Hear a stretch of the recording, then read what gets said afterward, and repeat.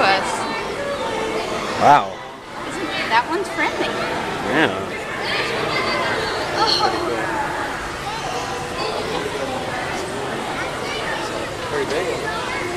Oh, so that one There's I a saw couple of the other sharks thing hiding blue and a the white there. You've seen them, they're covered in spots.